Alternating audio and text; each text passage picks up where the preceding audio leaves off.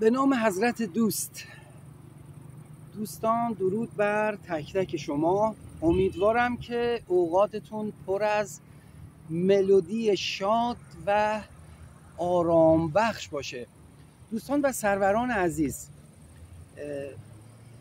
می‌خوام یک موردی رو عرض کنم خدمتتون تا به نوعی تونسته باشید حداقل یک نتیجه مثبتی رو گرفته باشید از دیدن کلیپ ها برای پیدا کردن مقبره باید چی کار بکنید؟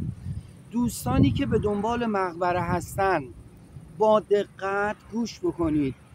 دوستان برای پیدا کردن مقبره ما باید دنبال چی باشیم؟ همونطور که می‌دونید مقبره ها بسیار ارزشمندن دوستان عزیز. ما از مقبره ارزشمندتر نداریم. خب حالا مقبره ها نشون نداره. یعنی یک سنگ و فلشی نیست که به شما بگه این فلش رو برو. برو برو برو. بعد که رسیده بگه این مقبره است حالا بکن. من داخل مقبره من چقدر طلا و جواهره. نه دوستان عزیز مقبره همه به صورت سکرت بودن. شما بایستی برای پیدا کردن مقبره اولین کیس شما منبع آبی باشه. یعنی دنبال یا آب روان یا چشمه یا قنات یا رودخانه باشید.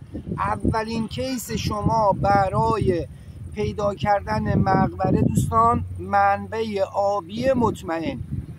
دومین مورد. حتما باید در شیب باشه. دوستان مقبره ها در شیب هایی هستن که شما حتی نمی‌تونید تعادل خود خودت رو حفظ بکنی. من شیب ده درجه شیب 15 درجه نگفتم شیب بیشتر. مقابر در مکانهایی هستن که شیب بسیار زیادی داره که شما حتی نمی‌تونی خودت رو کنترل بکنی. دوستان عزیز مقابر در یک فرسنگی قلعه شاهی هستند یعنی در شاه حدود پنج و نیم کیلومتری.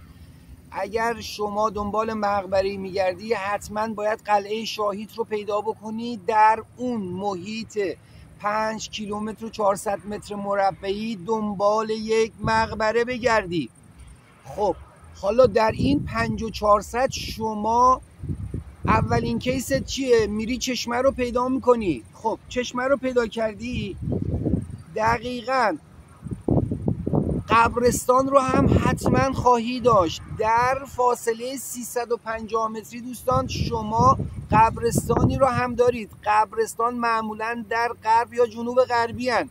اگر غرب یا جنوب غربی 300 350 متر بیای بون سمت مطمئنا شما یک کیس مشکوکی رو در سطح زمین می‌بینی نه اینکه نماد باشه بگه من اینجا اینجا من یک مقبره گذاشتم اینجا یک قبر پادشاهی یک قبر سرداری. نه. در سطح زمین موارد مشکوک مثل چی؟ مثل فرونشست بسیار جزئی. خدمت شما عرض بشه که یکی از موارد دیگه دوستان این هست که شما در جایی که قلعه شاهیتون رو می‌بینید میرید در یک بلندی دنبال مکان یو شکل بگردید.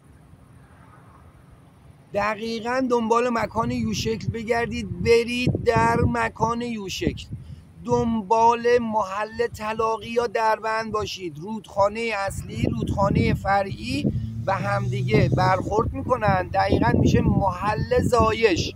در زمان باستان اون دربند یا محل طلاقی بسیار بسیار ارزشمند بود. شما همون محل طلاقی رو پیدا بکنید. منبع آبی کنارتون. مقبره رو مطمئنا خواهید یافت دوستان عزیز.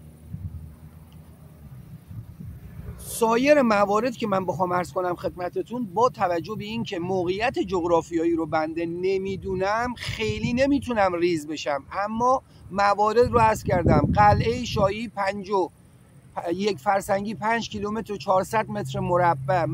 منبع آبی قبرستان تا 350 متری در غرب و جنوب غربی. محیط یوشکل یا خدمت شما عرض بشه مکان دربند محل تلاقی دو در همون اطراف دنبال یک قبر مرتب بگردید. قبر بسیار عالی بسیار ارزشمند هدایای بسیار ارزشمندی داره.